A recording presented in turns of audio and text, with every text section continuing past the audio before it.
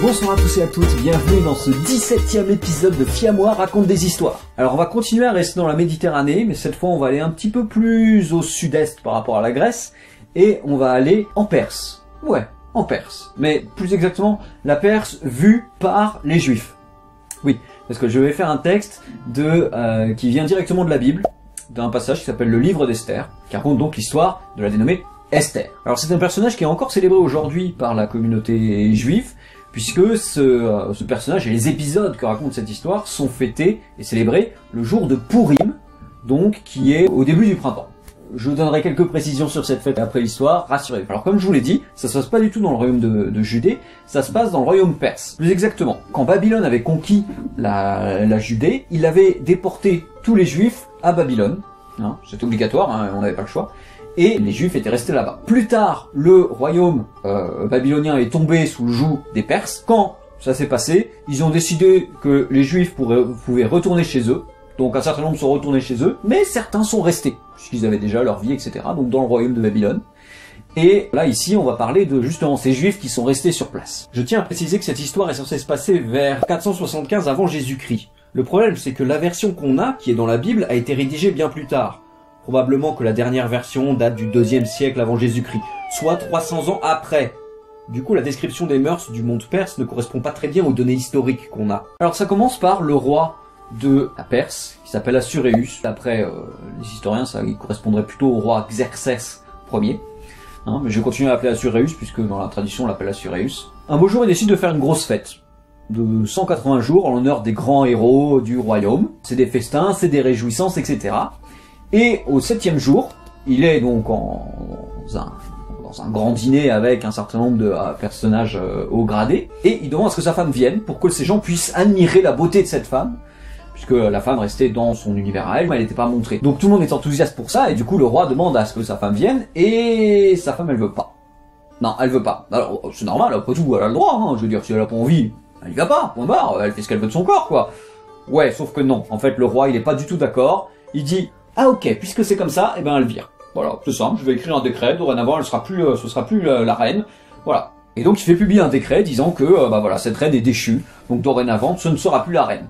Du coup, il y a une place à prendre. Alors il envoie euh, des eunuques et des serviteurs un petit peu partout dans le royaume, qui était énorme, hein, ça va de l'Éthiopie jusqu'à l'Inde, pour qu'ils trouvent une remplaçante à cette, cette reine. Et il y a un homme qui s'appelle Mardoché. Alors moi je le prononce Mardoché, Normalement, en français, on dit plutôt Mardoché, et en hébreu, on dit plutôt Mordechai. D'ailleurs, les juifs francophones l'appellent Mordechai, qui est juif, en l'occurrence, qui s'occupe de sa cousine, qu'il a élevée, sa cousine qui est malheureusement orpheline, qui s'appelle Hadassah. Donc cette euh, Hadassah est magnifique, mais magnifique, mais une, une, beauté, mais jamais on a vu de femme aussi belle, quoi. Elle est vraiment incroyablement belle. Et donc il se dit, autant tenter sa chance. Il la montre aux eunuques, les eunuques la trouvent magnifique, et du coup on la fait venir à la cour. Alors il se passe quelques temps entre le moment où elle arrive à la cour et le moment où elle est présentée officiellement au roi. Mais, au bout de quelques années, je crois que ça, ça se compte en années, le roi finit par rencontrer cette femme, et là il la trouve, mais vraiment, tout à fait à son goût. Du coup, qu'est-ce qu'ils font? Bah, ils l'épousent, et c'est dorénavant elle la reine. Donc c'est formidable. Alors, en se mariant, il se trouve qu'elle change de nom. On lui donne un nouveau nom, et ce nom c'est Esther signifie la myrte en, en Mède. Donc Esther est pas un nom juif à l'origine. C'est plutôt un nom en perse, mais qui est rentré dans la tradition juive. Le temps passe, donc Mardoché, lui, il continue, il commence à fréquenter le, la cour du roi. Puis un beau jour, il entend euh, deux eunuques qui étaient chargés de la sauvegarde du roi, la protection du roi, dire la chose suivante. Ah, le roi, j'en ai marre, moi. tu vas voir, on va lui donner un coup par derrière, là, comme ça, ça sera vite fait, bien fait. Mardoché, qui n'est pas bête, comprend qu'il cherche à tuer le roi. Alors là, il se dit qu'il faut qu'il aille prévenir Esther.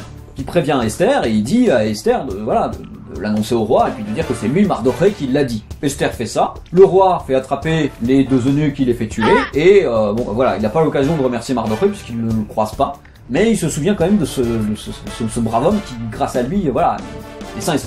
Quelques années passent et puis il y a le grand vizir de l'époque, donc vous avez le roi et puis il a son grand vizir, un peu comme le président et le premier ministre si vous voulez, son grand vizir qui s'appelle Aman. Oui, le, bruit, c'est parce que dans la tradition, quand on dit ce nom, euh, on doit taper du pied euh, sur le sol et puis faire bouger des crécelles. Bref, on doit faire du bruit. Donc, Tetaman obtient, euh, est très proche du roi, et il obtient du roi que celui-ci publie un décret disant que dorénavant, on doit se prosterner devant, outre le roi bien sûr, on doit se prosterner devant Aman. Devant le premier ministre. Ok, donc le temps passe, Aman est très content. Bon, il y a juste un petit problème, c'est que il voit qu'un certain nombre de personnes, à commencer par Mardoché, refusent de se prosterner devant lui. Et il découvre, par là, que des gens qui avaient discuté avec Mardoché, en fait, que Mardoché lui aurait dit, moi je suis juif, voyez-vous. Et nous les juifs, on se prosterne devant personne, sauf devant Dieu. Ah, Kadosh Baruch d'accord, on se prosterne devant lui. Mais sinon, on se prosterne euh, pas devant les hommes. Ça veut pas dire qu'on manque de respect aux hommes, hein, au contraire, on respecte énormément tout le monde. Mais c'est juste que voilà, c'est notre tradition. Oh, Aman Il entend ça et il est vénère. Mais il est vraiment vénère, Aman. Il aime pas trop qu'on fasse pas comme euh, on doit faire, hein. Et donc il se dit, ils veulent pas se prosterner, ben ils vont voir ce que c'est que de que de ne pas se prosterner devant moi, le grand Aman.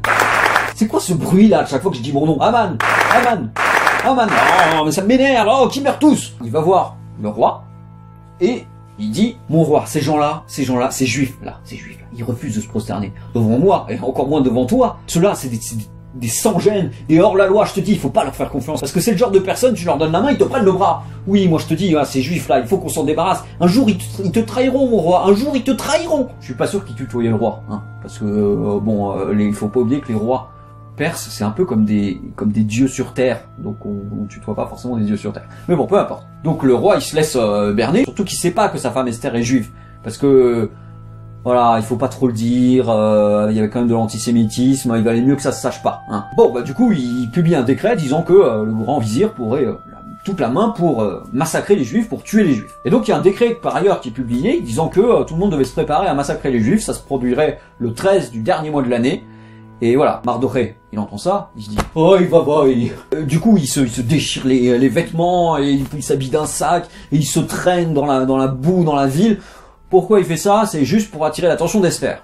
Parce qu'en fait, il peut pas lui parler comme ça, Esther. Hein. C'est pas, c'est la reine, hein, faut pas oublier. Esther, finalement, réussit à parler à Mardoché, et Mardoché lui raconte toute l'histoire. Voilà, ils veulent nous massacrer tous, tous, tous les juifs. Ils veulent massacrer tous les juifs. Faut que tu fasses quelque chose, Esther. Non mais attends, je, je peux rien faire. Moi, je peux pas avoir un entrevue avec le roi comme ça en claquant des doigts je peux pas aller dans chez lui et euh, dire euh, oh j'ai un truc à te dire. Il faut qu'il m'autorise. Tu sais je risque ma vie en faisant ça. Non mais Esther tu comprends pas tu risques ta vie quoi qu'il arrive. Je veux dire tu crois quoi? Une fois qu'ils auront massacré tous les juifs un peu partout ça va finir par savoir que toi tu es juive. Parce que t'inquiète pas hein, ça tu peux toujours essayer de l'oublier. Il y en aura toujours des gens pour te le rappeler. Donc tu fais comme tu veux mais sauf qu'au final c'est toi qu'on va tuer aussi hein. Et accessoirement ton pauvre cousin va mourir hein. Peut-être tu t'en fiches maintenant de ton cousin. Mais bon, quand même, hein, c'est moi qui t'ai éduqué. Hein. Esther réfléchit. Comme elle l'a dit, si elle dérange le roi, elle peut être condamnée à mort. En même temps, elle est touchée par les arguments de son cousin. Bon, ok, alors, voilà ce qu'on va faire. Tu vas réunir tous les, euh, tous les juifs à Suse. Vous allez jeûner pendant trois jours et trois nuits. Et je vais faire de même avec mes, avec mes servantes. D'accord? Et puis après, j'irai voir le roi. Quoi qu'il arrive, j'irai voir le roi. S'il doit me bannir, s'il doit me tuer parce que je respecte pas la loi, eh bien qu'il en soit ainsi. Mais voilà, je vais faire quelque chose. Je savais que je pouvais compter sur toi, ma Radassa, Esther. Je m'appelle Esther. Pour moi, tu seras toujours la petite Radassa que j'ai connue. Et donc elle commence à jeûner. Et les juifs commencent à jeûner. Et il se trouve que ça, ça lui porte chance à Esther, puisque au troisième jour, il y a le roi qui décide de venir dîner chez elle. Voilà. Donc elle dit, ok, d'accord, bah viens dîner chez moi, et puis tu peux aussi faire venir ton, grand vizir là, Aman, qui vienne aussi euh, dîner avec nous. Il est fait ainsi.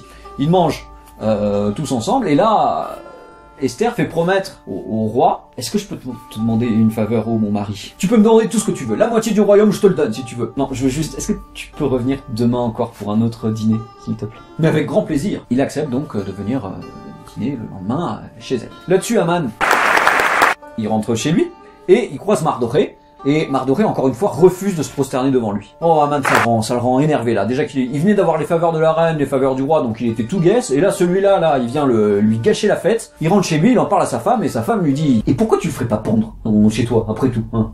De toute manière, les juifs vont finir par être massacrés, donc autant le pendre directement. Ouais, c'est une bonne idée, ça. Ok, il le fait attraper donc euh, dans le but de le pendre le lendemain. Alors Mardoché, il passe certainement la plus terrible nuit de sa vie. Il ferme pas les yeux, il dort pas. Il attend juste le petit matin qu'on vienne lui ouvrir la porte pour l'amener au gibet. La nuit passe, et le lendemain matin, justement, on vient lui ouvrir la porte. Et on lui amène alors de magnifiques habits, en lui disant que finalement il allait pas mourir et qu'on allait faire une procession en son honneur. Que s'est-il passé? Revenons un peu en arrière. Au moment de l'arrestation de Mardoché, le roi est en train de dormir. Il rêve et il réfléchit à ce, mecton là qui, euh, qui lui avait sauvé la vie il y a quelques années de cela. Et il se dit quand même, euh, j'ai pas eu l'occasion de le remercier. Le lendemain matin, à première heure, il fait venir Aman.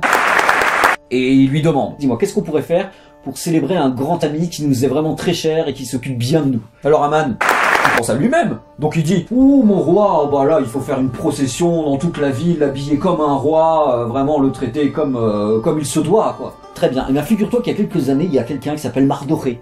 Euh, je crois que tu m'en avais déjà parlé d'ailleurs, celui-là. Là. Il fréquente la cour, il me semble. Hein. J'ai jamais eu l'occasion de le remercier. Il faut que je le remercie. On va lui faire une procession. Tu, vas t'occuper de ça, hein, des, de la procession, etc. pour vraiment euh, l'honorer. Aman, euh, juste en disant qu'est-ce qu'il faut faire, en réalité, il protège euh, son pire ennemi.